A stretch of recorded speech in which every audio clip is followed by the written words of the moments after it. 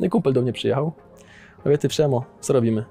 Mówię, no nie wiem, nie wiem, teraz zmęczony jestem. To chodźcie do teatru, nie?